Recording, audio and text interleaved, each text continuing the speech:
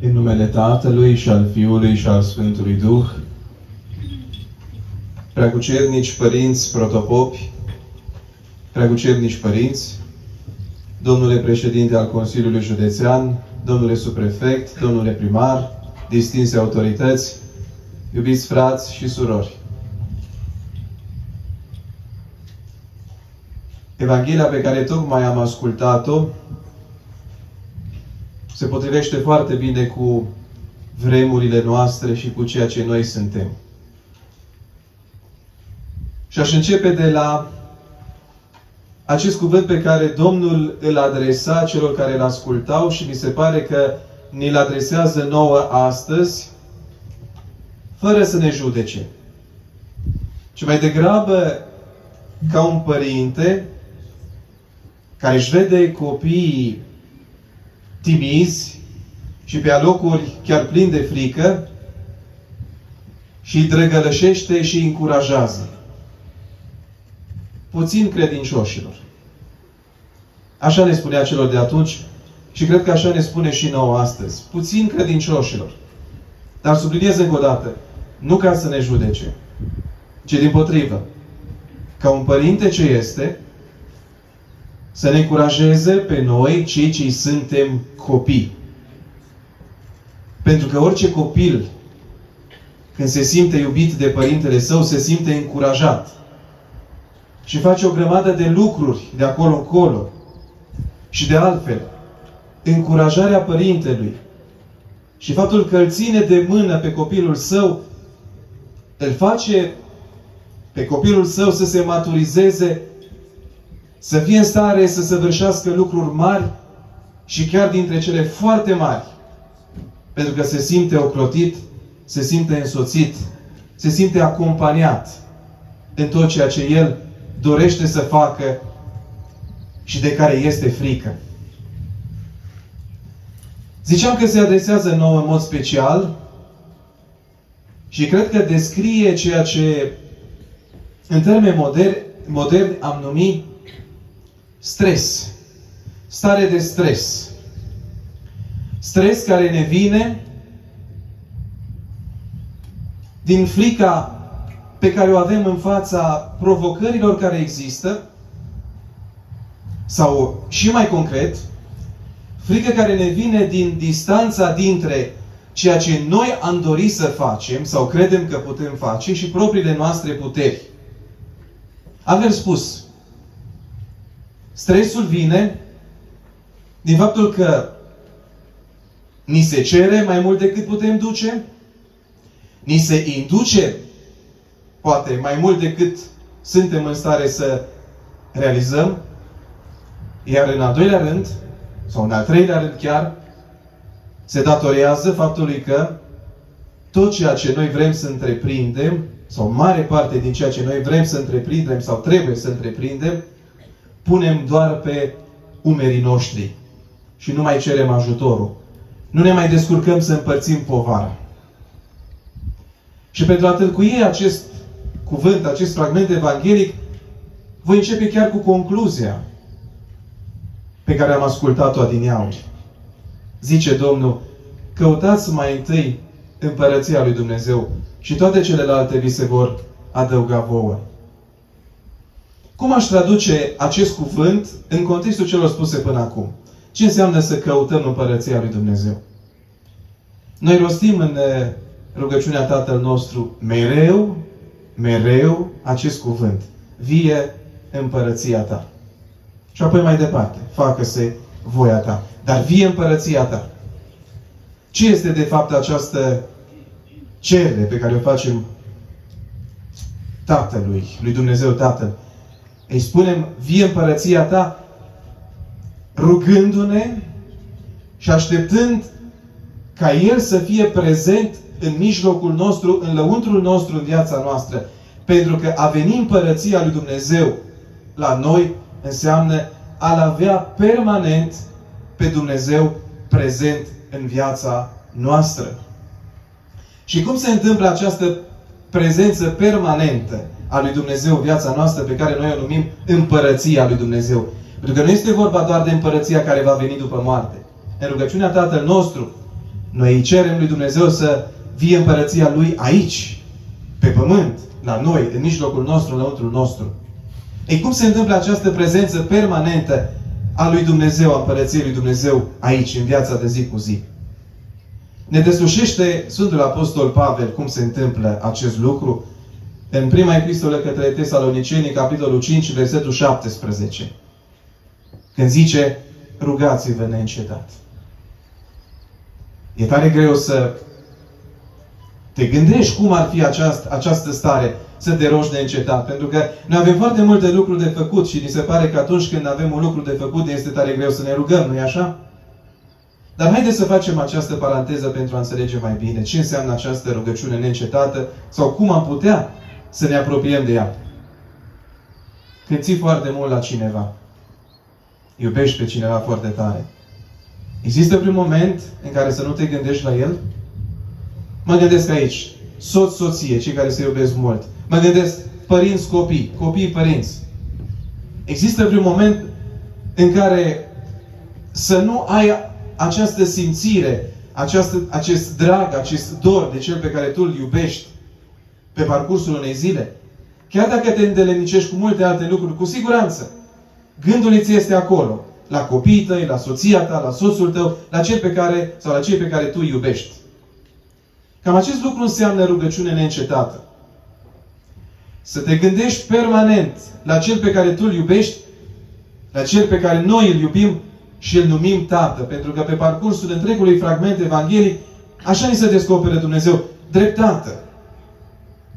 Și atunci, această căutare mai întâi a Împărăției lui Dumnezeu se traduce în planul practic al vieții noastre acest gând neîncetat înspre Dumnezeul nostru, dragoste, cum se descoperă sub chipul părintesc, Dumnezeu Tată.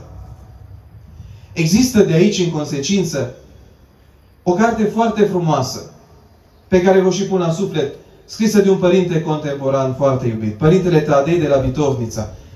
Și această carte se numește Cum îți sunt gândurile, așa ți-e viața.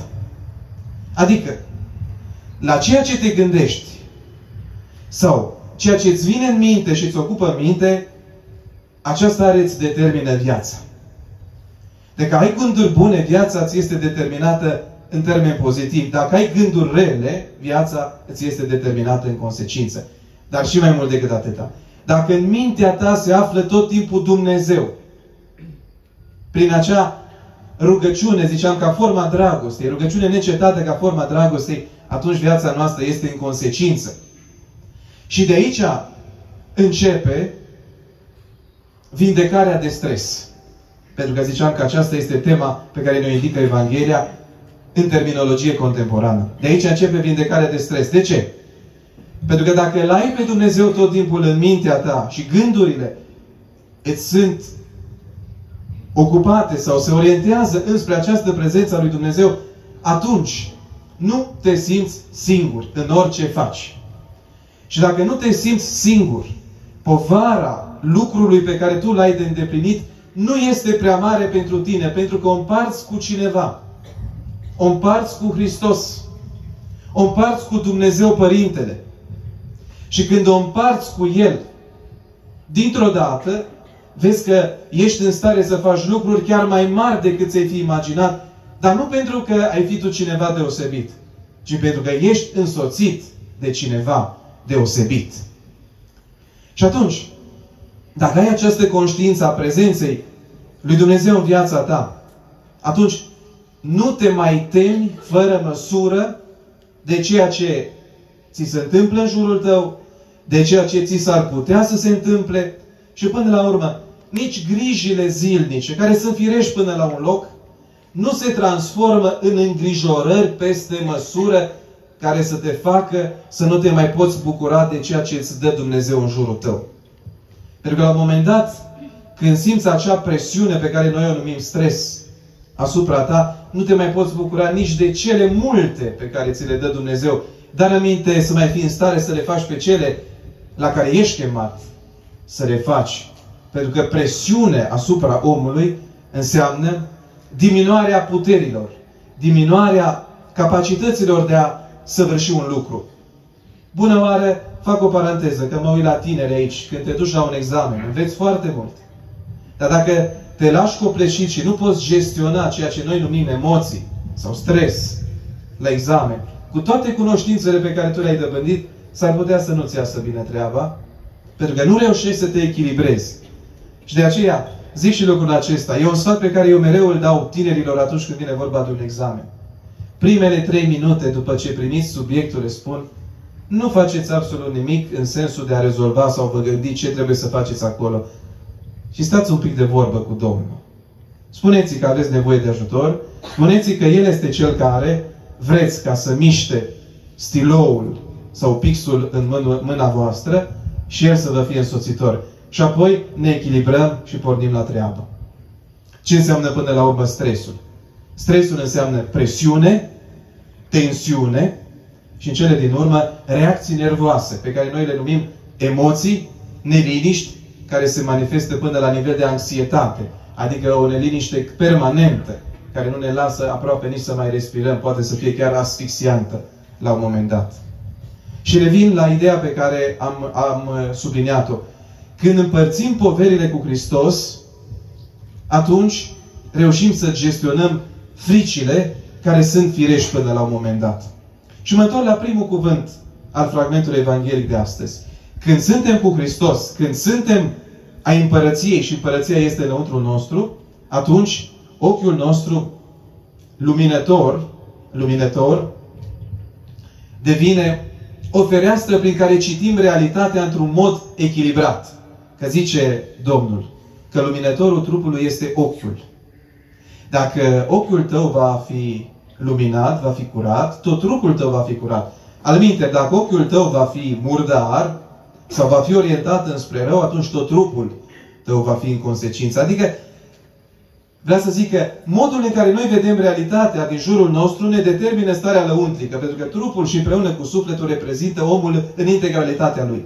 De fapt, nu realitatea în sine este cea care ne determină o stare, ci modul în care noi lecturăm realitatea.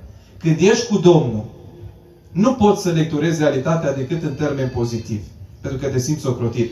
Niciun copil, oricât de mare pericolul al fi în lumea aceasta, nu se teme de vreme ce este ținut de mână de tatăl său.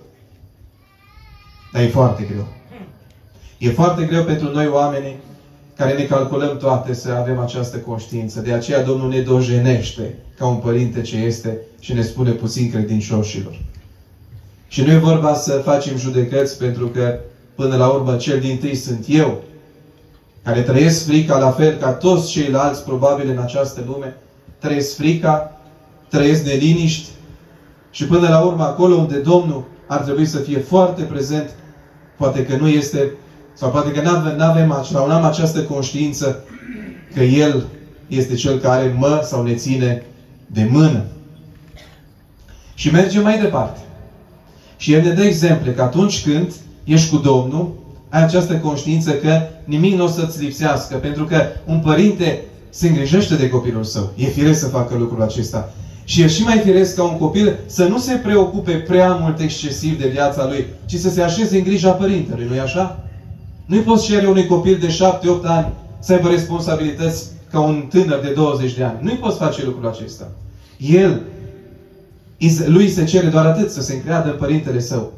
Și apoi zice el mai departe, că oricum, grijile prea multe pe care noi ni le facem, ne depășesc evident. Și atunci, dacă ne depășesc, nu suntem în stare să le gestionăm și nu numai că sunt nepotrivite, ci până la urmă ne vor copleși. Și cum exprimă acest, această realitate? El zice, oare, oricât am fi noi de inteligenți, poate cineva să mai adauge măsurii sale un cot? Adică putem să ne facem mai mari fizic decât suntem? Am putea zice că tehnica încearcă, da, dar nu până la capăt. Și principiul rămâne grijile pe care noi ni le facem sunt cu mult mai presus decât puterile noastre. Și apoi dă câteva exemple foarte frumoase, foarte ilustrative, vis-a-vis de pildă de hrană. Zice el, uitați-vă la păsări. Nici nu seamănă, nici nu secere și Dumnezeu le dă de toate.